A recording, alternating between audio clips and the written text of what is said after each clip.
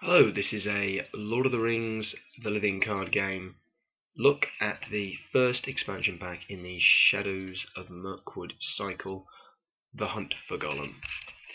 The first card we're going to have a look at is the hero that comes in this box, the much talked about Bilbo Baggins. A lot of people were disappointed with the first hero that came in the expansion, and it's understandable. Bilbo has a fantastic ability on the bottom of his card, which reads, the first player draws one additional card in the resource phase.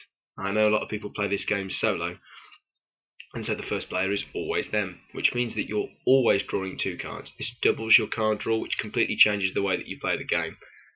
I can't count how many times I've had too many resources, too few cards.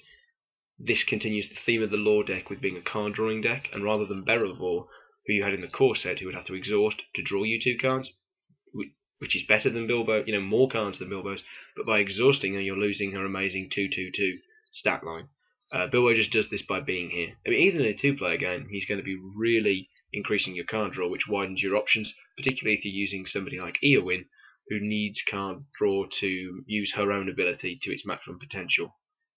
Having said all this, he has painful stats, probably the worst stats in the game of any hero, with only one willpower, one attack, two defense. That's fine so far. We've seen heroes like this, like Eleanor in the Spirit deck, two hit points. That makes a world of difference. He is the most fragile character from a hit point point of view in the game. His only real strength, stat wise, is his defense of two, which is respectable. But with two hit points, you've got no leeway with the damage he can take. Uh, you get hit by a, a three attack, he's half dead. You get hit by a four attack, and he's out of the game.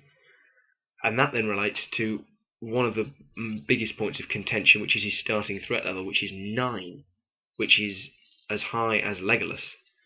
Now, normally, the formula that the Lord of the Rings card game follows is that you add up the total of the willpower, attack, defense, and hit points, and that gives you the starting threat.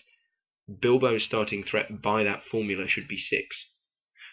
This means that when you lose this 2 hit point character, that's a 9 threat increase with only two hit points, even using him on, even ignoring his use of defense and obviously attack, with only one attack, if you send him questing, a lot of quests have the gaze of the necromancer. That's that's three times he could be taking a hit point damage.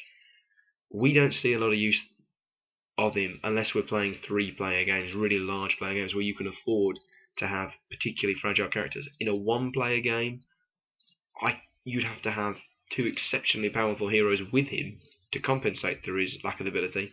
And then with two exceptionally powerful heroes like an Aragorn and a Glorfindel, you're looking at a starting threat of 34. I, I don't really see Bilbo as too viable an option. Uh, I whenever we use the lore deck, he's always the one that's left out. The first um, player deck expansion card is the Dunedain Mark, which is a one-cost attachment for the leadership deck, and the, the text reads, attached to a hero, attached hero gains plus one attack. And you can also, as an action, pay one resource from the attached hero's pool to attach Dunedain Mark to another hero. Personally, I'm a really big fan of this card because it turns your heavy hitters, such as your Legolases, your Aragorns, your Glorfindels, into even bigger hitters.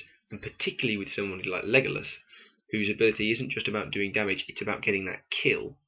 This increases his chances of doing that because a lot of there are quite a few enemies with one defense, three hit points. With this mark put on him, he can take care of one of those by himself. And in a two-player game, you can one player can focus on you can give marks to the other player, so you can give that character that hero the mark, and also Legolas can be shooting the target against you. I like this for turning dangerous heroes into even more dangerous ones. The transferable aspect is, is a plus, but it's not something we've ever really used.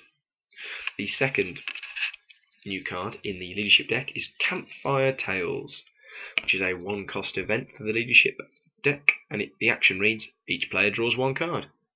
Now, I know there's a this card has not received a lot of love among solo players, and understandably so. You're paying one resource, you draw one card in a two-player game, it gets you know you get a lot more mileage. One resource, each player draws a card. That's two cards. uh, the important thing I see about this card is that it's a non-lore deck card that lets you draw cards.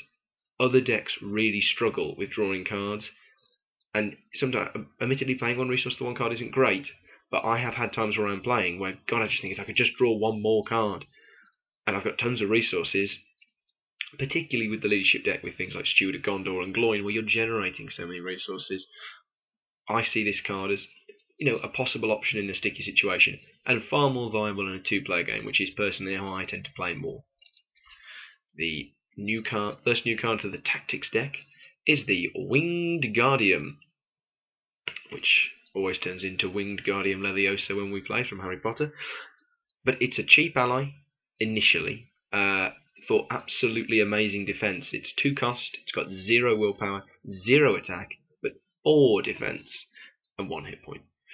Uh, however, the downside to this card is that you are forced, after an attack in which the Winged Guardian defends, resolves, pay one tactics resource or discard the Winged Guardian from play. So he can be, unless you're willing to keep paying for him, a one-shot defender.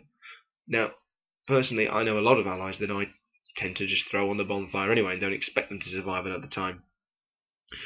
Two cost is a, a bit expensive to be doing that, but the other important part of this card is that he's a sentinel. And this means, of course, again, sorry solo players, you're not getting anything for the sentinel, but in two-player games, sentinels are huge. Suddenly, this one ally counts for both players in terms of defense because he can zip over.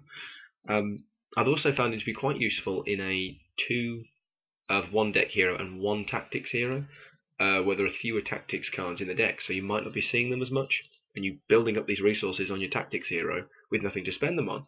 Suddenly, this guy gives you a use, and this four cost defender, there's not a lot apart from your really big hitters out there that are actually going to kill him.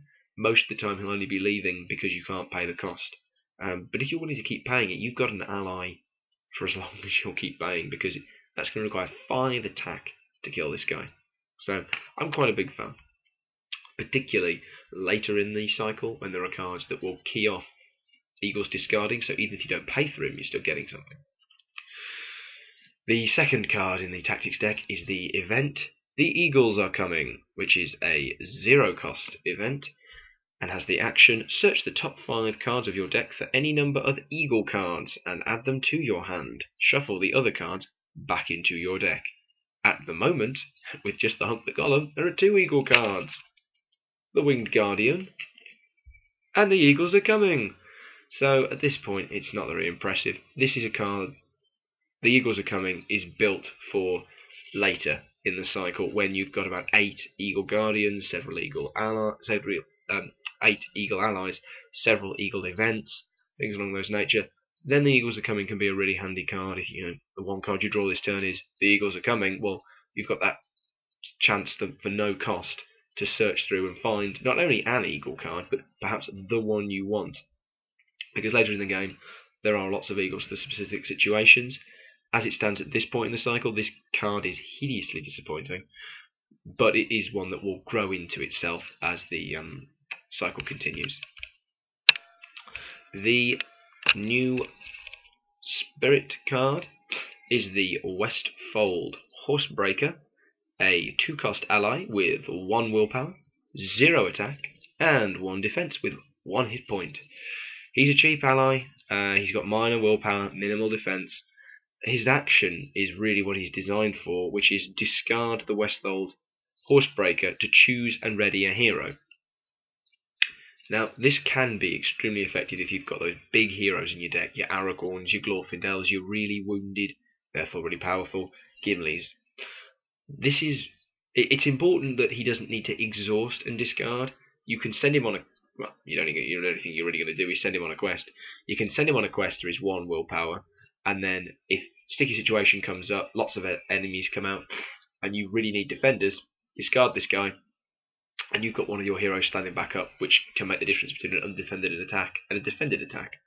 Um, I do view him a little bit as a luxury ally, sort of like Gleowine in the lore deck. He's great to have when things are all clicking together as that safety net, but the discarding means that you're losing an ally, and I find you know having allies in your tableau essential.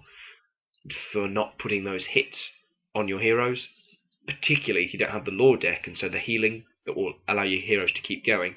Not a bad card, and you know a pretty cheap addition to the uh, quite expensive allies that the Spirit deck with the Northern Tracker and the Lorien Guide, the Spirit deck uh, seems to enjoy.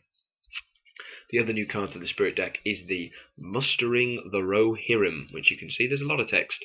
It's a one cost. Basically, it's very similar to the Eagles Are Coming in the Tactics deck. You search the top 10 cards of your deck for one Rohan ally and add it to your hand, then shuffle the cards back into your deck.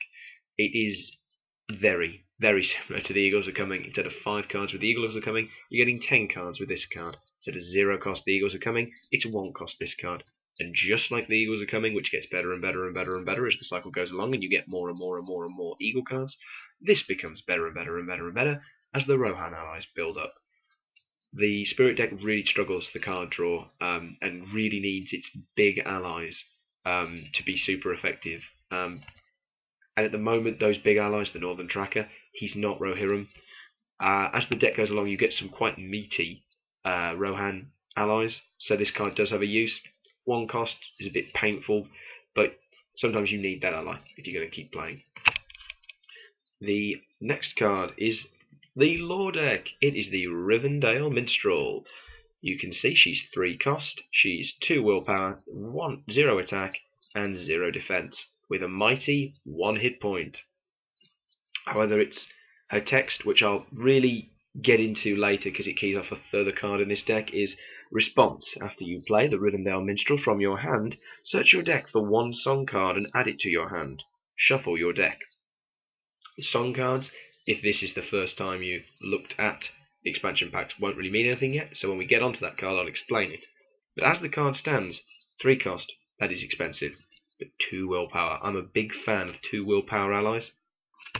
And the fact that she has no attack or no defense doesn't really bother me. I actually prefer allies who are good at one thing. She is hideously fragile. If Gaze of the Necromancer comes out, she's dead. But two willpower, that's a really good addition to the lore deck, which struggles sometimes with willpower. And the other card for the lore deck is the one cost event, Strider's Paths. This event has the text, which I'll explain because it, it does need a bit of explanation. Response after a, law, location is revealed from the encounter deck, immediately travel to that location without resolving the travel effect. If another location is currently active, return it to the staging area. This card can be huge. It really gives the lore deck some spirit trick, some spirit deck tricks. If you're on the um, if you're committed to the quest and you're revealing the encounter deck cards and those really nasty travel locations come up, such as the Necromancer's Pass, when you travel there, First player discards two cards at random. Can be very punishing for its three threat um, addition to the staging area. With this card, for one cost, you get to go there, taking it out of the area, getting rid of that three threat, and you don't need to discard the cards, which only means you've got to do that two two uh, progress tokens on it to get rid of it. There are other cards like the Great Forest Web, things like that that you're really going to want to avoid.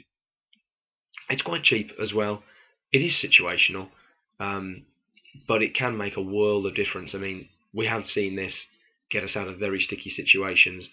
I'm quite a fan of the card, especially since um, the the lore deck has a couple of ways to negate um, threat to return with secret paths, Radagast's cunning, things like that. But this really lets you get around that those hideous travel effects, which until now the only ways to do it has been through repeated snowbourn scouts in the leadership deck or um, things like the Northern Tracker in the uh, Spirit deck. So for the Lore deck to have a trick like that is particularly effective. And the final card is the neutral card. This card is the Song of Kings. It costs one resource to pay.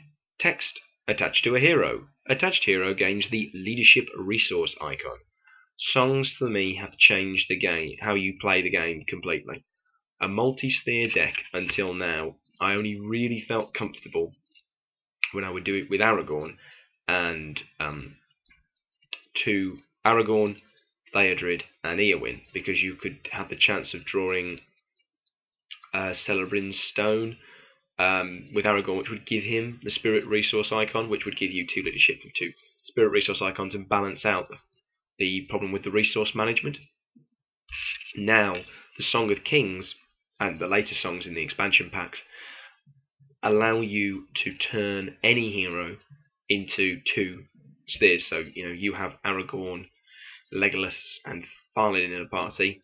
You put the Song of Kings on Thalin, and now you've got Aragorn with leadership, Legolas with tactics, and Thalin with leadership and tactics for the purposes of spending.